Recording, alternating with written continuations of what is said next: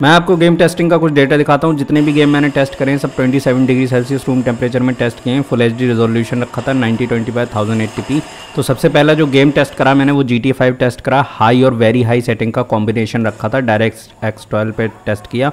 और 60 F average मुझे मिला। गेम बहुत ज़्यादा एन्जॉयबल था।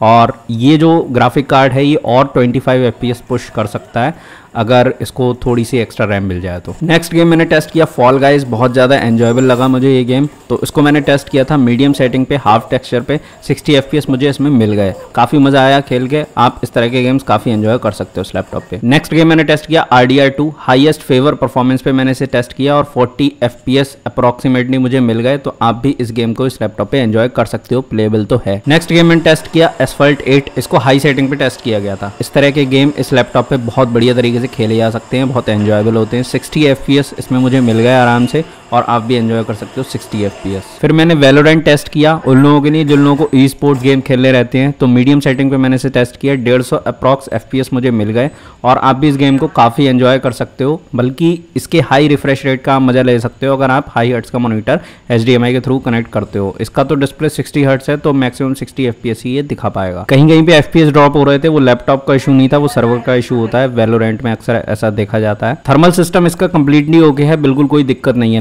लैपटॉप में थर्मल्स के मामले में।